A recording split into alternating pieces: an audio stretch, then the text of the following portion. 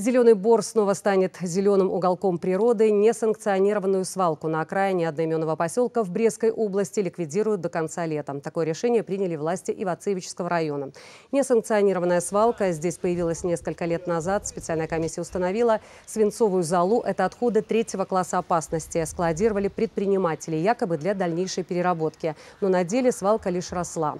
В итоге накопилось около 7 тысяч тонн, возбуждено уголовное дело, а вместе с тем принято решение ликвидировать свалку в кратчайшие сроки. Это согласилось сделать белозерское предприятие «Битсплав». У нас был такой механизм. У нас э, переработчик наш, который у нас э, имелся, он имел свою лицензию. Э, и мы в рамках законодательства заключили с ним договор, договор на переработку и отправляли туда свои свою залу свинцовую. За каждую тонну платили деньги, и деньги немалые, огромные деньги. После вывоза отходов месячный срок э, землепользователи проведут рекультивацию, будут посчитаны затраты, нанесенный вред э, окружающей среде. И согласно этому цифры будут представлены в Следственный комитет, и там же будет проводиться работа компетентными органами. Отходы отправят в места долговременного захоронения. Их определило Министерство природных ресурсов и охраны окружающей среды. Все работы завершат до 1 сентября.